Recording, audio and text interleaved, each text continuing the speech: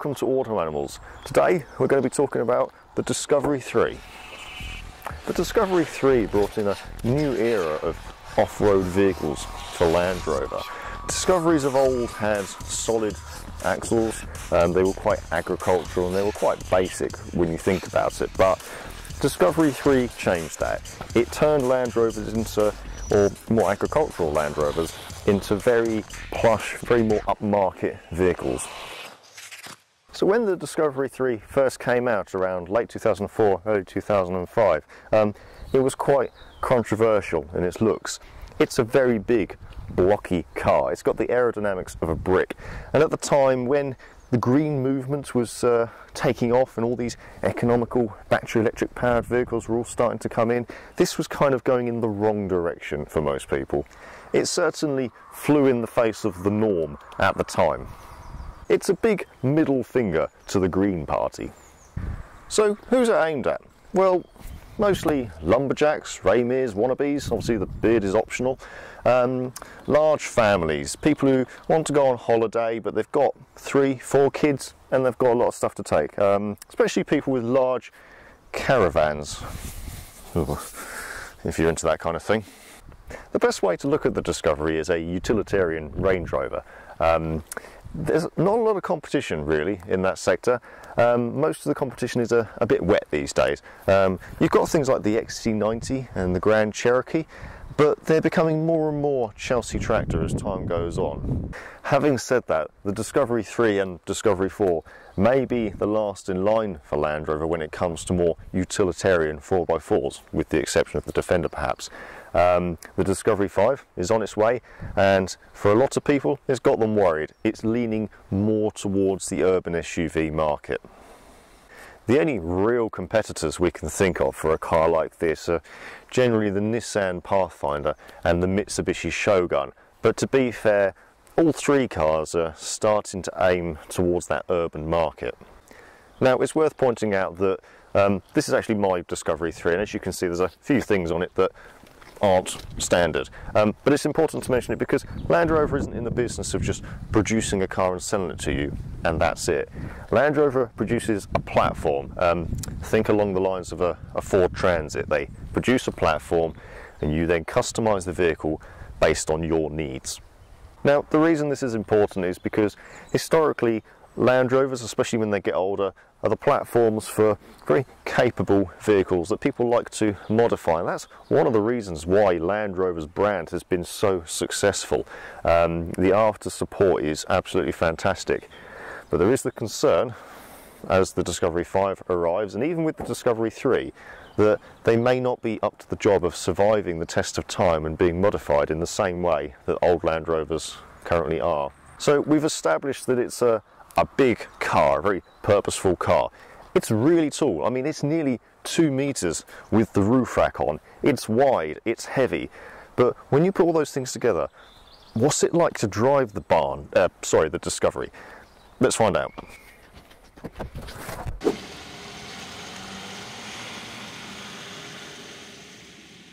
So driving the Discovery 3, it's uh, it's a bit like a truck. Let's, let's be honest, it's a, it's a big, heavy car. Um, doesn't drive like a truck so much like um, a Nissan Navara or a Mitsubishi L200, but nonetheless it feels more like a truck than it does a car. Um, again, like that's to be expected. And as such, because it's a truck, it's not completely composed in the corners. You'll find that if you're going around a corner with a bit of pace, you feel yourself almost holding on to the wheel um, so that you don't slide out of your seat and wrestling with it just a little bit to get it around the corner. Uh, but then again, it does weigh two and a half tons, and putting two and a half tons around a corner quickly is never going to be easy. And something I have noticed for this uh, 2.7 litre turbo diesel, um, it's, it's a bit laboured. If I put my foot down it, uh, gets there eventually. It's uh, it's a powerful engine. There's a lot of torque in this. If you want to tow trees down, that's absolutely fine. But to get going, it just sometimes feels like it's a little bit, little bit delayed, and that's not unusual necessarily with a large diesel engine like this.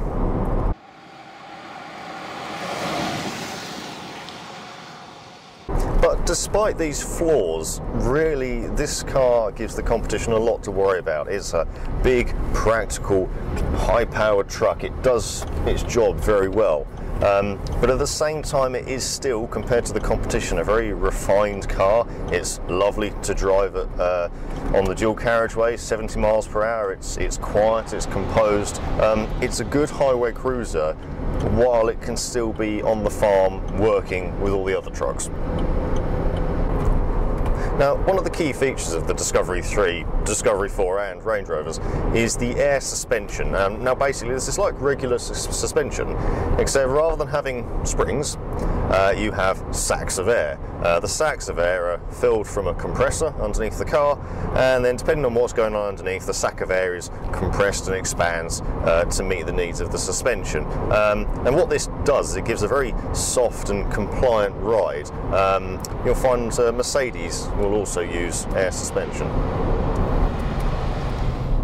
Something interesting about the air suspension. Um, a lot of people look at the car and they say, "Oh, that hasn't got much ground clearance for a Land Rover. You know, don't you get stuck?" Well, no, actually. Um, something not a lot of people seem to know about the Discovery and Range Rovers is that because it's got air suspension, you can make the suspension go up and down. There's a lever down here I can flick that'll make the suspension go down so people can get in and you can load the back up. Um, you can make it go up for off-road um, and when you do get stuck off-road there's extended mode. So when the chassis uh, detects that you've grounded out on something you uh, flick the lever again goes up into extended mode. And if that's not enough you can have super extended mode which will go up even further. Um, and it will give ground clearance that could rival most defenders. Worth noting that extended mode and super extended mode are not something that you can actually do yourself. The car will only do it when it detects that it's grounded out, um, and you wouldn't want to drive for any distance in those modes anyway, as the car does become quite wobbly. Now, while the Discovery is capable of many things, one of the main reasons people buy them uh, is because of its off-road abilities. Um, yeah, okay, there is other vehicles that will go off-road, but Land Rover really has got a name for when it goes when it comes to going off-road, um, and the Discovery is a very capable vehicle. Um, I wouldn't put it on a par with the Defender. The Defender's capable in, in different ways, but for 99% of people driving off-road in the UK, the Discovery 3 is more than ample. Um, most people will gear them up and take them abroad. They will do expeditions, travelling with them, and they're just as capable there. Um, in the right hands, it is amazing what you can do with these cars. Um, that wouldn't be my hands, I might add. Now, when it comes to going off-road in the Discovery, which, let's be honest, is one of the primary purposes of it, there's this, this uh, ingenious little system called Terrain Response, which Land Rover have come up with, and uh, in essence, it's a dial, and you set the dial to whichever terrain you're driving on, and it takes the guesswork out of driving off-road. Um, so there's snow, sand, uh, mud ruts, gravel, it does all the hard work for you. It locks the diff, uh, it adjusts the power, um, and it does make this a very capable vehicle. One of the other interesting points about the uh, the Discovery 3, 4 and the Range Rover um, is the fact that they've actually got two chassis. Uh, so in essence, think of a, a, typical ladder chassis that you'd find on Land Rovers of old, um, and then put a monocoque chassis on top of that. Uh, and basically what this does is it gives it the, uh, the abilities uh, and the setup required for off-road use through the ladder chassis, but then you've also got the strength and structure of the monocoque chassis to make it more compliant on the road. Now this is, this is great, um, but that is why it weighs two and a half tons. Now unfortunately unfortunately, to counteract that two and a half tons, you, ha they, you have got the features such as air suspension. Um, and the problem with this is it's a bit of a vicious circle because on the one hand, you've got all this technology to cope with the two and a half tons, but as you add the technology, it adds up to two and a half tons. It's a vicious cycle. One of the main selling points behind Discovery is its incredible levels of practicality. Um, you can't deny this is a big car. There's a lot of space in it. Everything is, is big, and the boot is cavernous. Um, and as a result, it makes it a very desirable car for those who really do need that extra space. Um, you could argue, why do you need a small van sometimes when you could have a Discovery? On the subject of practicality, this is a car where everything feels purposeful, everything's here for a reason, everything's well made, everything's got its place. Um, it doesn't feel like anything's been added just for the sheer hell of it, uh, especially when it comes to styling cues. It's a very blocky utilitarian look. One of my favourite things about the Discovery is the amount of kit you get on uh, some of the models. Uh, this is a HSE, so it is the, the top spec, so obviously it has got all the toys. But there's so much going on here. You've got your steering wheel controls, you've got heated seats, electric seats, front and rear parking sensors, sat nav, um, all these great features. Uh, dual zone climate control, electric windows, passenger and driver's side. Um, Something I don't understand though is why Land Rover thought it'd a good idea to put audio controls in not just the back seats but the boot seats as well because everybody wants their kids fiddling with the radio. I, I don't understand that. The Discovery is a car that's one of those cars that looks better used. Um, when it comes out of the showroom all shiny and glossy and clean, it's all very nice, but it's not what the car's about. Um, I haven't washed this for the best part of four months now, purely because, well, one, I'm not that bothered, but two, because of what the car is. It's not a car that you would necessarily polish every every weekend like you would your Maserati. Um, this is a car to be used. This is a practical car, um, which maybe you give the occasional wash when you're um, going to a social event, going to a friend's wedding or something. One of the drawbacks, unfortunately, with such a large vehicle um, is the parts and labour uh, servicing and repairs. Um, it is a big car, everything's bigger, uh, parts are more expensive, there's no getting away from that. So if you do decide that you want a Discovery 3, um, you really do need to be prepared to put some money to one side for spares and repairs. Um, most notably things like uh, brake discs and pads on the front. Uh, this car will eat them for breakfast. Trying to stop two and a half tons is always going to be uh, consuming on the brakes. Uh, additionally, suspension components. Again, two and a half tons, uh, the suspension components really do take a beating. Now, as you'd expect from a car of this size, um, you obviously sit quite high compared to other road users, and uh, I guess one of the main benefits of that is that visibility, especially in such a large car, is actually really good. Um, you see in a lot of cars these days very chunky pillars that can impede your vision, but actually looking around, I can see pretty much everything that's going on. Um, as you'd expect, it's a very commanding driving position.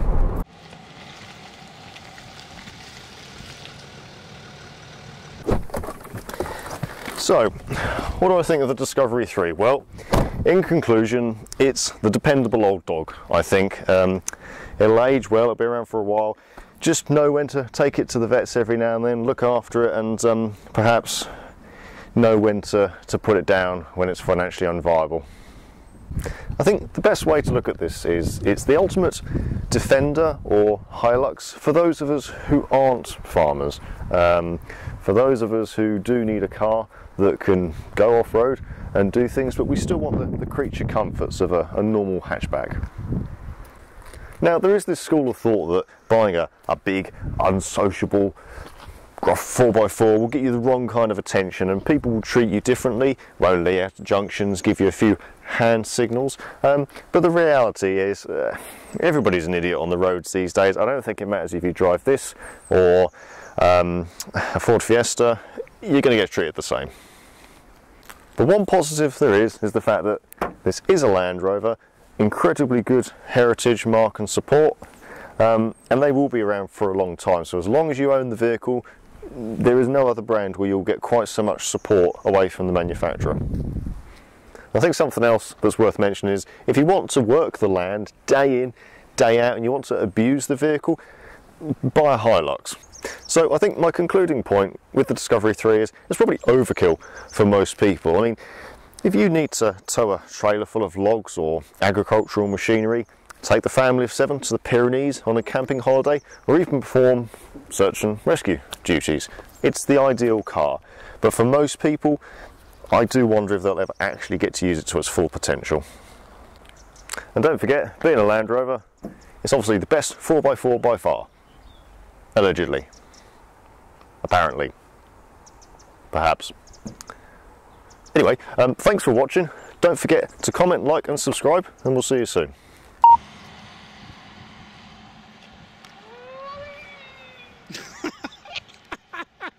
Discovery 3 brought in a new era of discovery. Um, discoveries of old were fairly aggro. What? Said discovery three times in ten seconds. discovery three brought a new era for the discovery, and the discovery discovered it. Right. It's blocky. It's like a, well, aerodynamics of a brick. And at the time that was very controversial as controversial. Car coming. What was I saying? It's rather door shut. It's actually dropped. Oh, for f***'s sake. I know. I, I, I, I know. It's um. It's it's actually like You can lift it and it. So there's a car coming.